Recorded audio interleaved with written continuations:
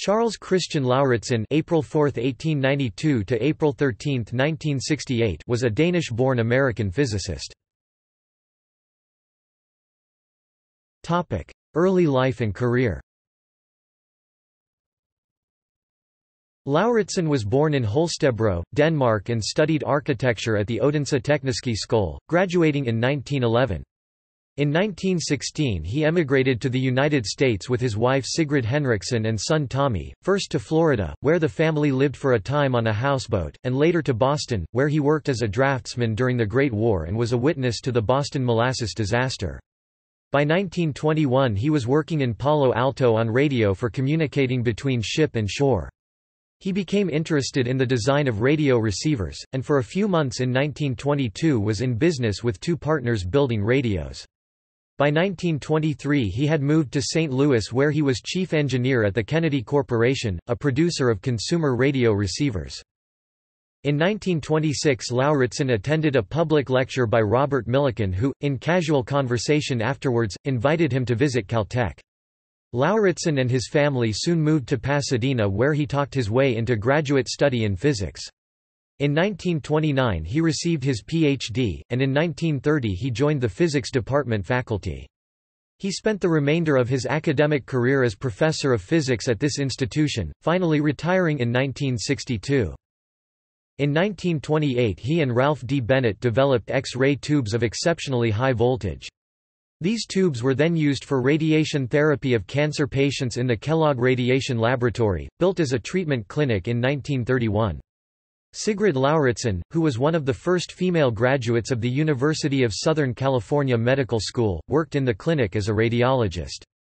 In 1932 Lauritsen converted one of his X-ray tubes into an accelerator of protons and helium ions and began to study nuclear reactions.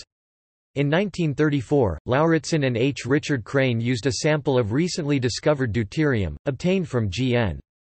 Lewis at Berkeley, to generate neutrons with which they made the first accelerator-produced artificial radioactivity. He later measured the radiation produced when a positron and an electron annihilate each other.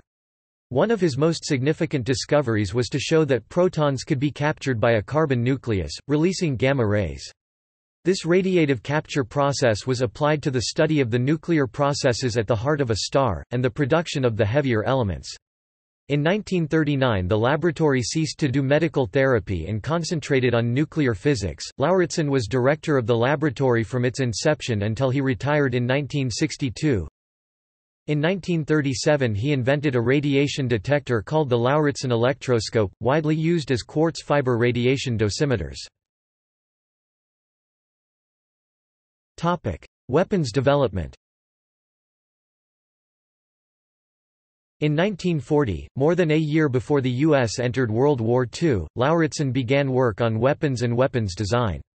His initial work was on the design and development of the proximity fuse, but for most of the war he ran a large program at Caltech that developed and manufactured a variety of rocket weapons, mostly for the Navy. In this connection he helped found the Naval Ordnance Test Station now the Naval Air Warfare Center, Weapons Division, China Lake, with a laboratory bearing his name at Inyokern, California. In the last months of the war, he helped in the American efforts to design and build an atomic bomb, including development of the pumpkin bomb, a high-explosive copy of the Fat Man bomb. He continued his weapons work in the years following the war, and much of his work was classified. Among the projects in which he participated were Project Hartwell, Project Charles, Project Michael, and Project Vista. During the Korean War he was at the front lines just after the Incheon landings observing and evaluating American weaponry for the Defense Department. He served as an advisor to the U.S. government and as a member of many committees and other groups. After a lengthy struggle with cancer, he died on April 13, 1968. Topic: Awards and honors.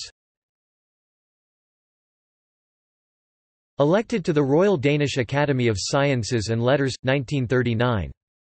Appointed Commander of the Order of Dannebrog 1953 by the King of Denmark.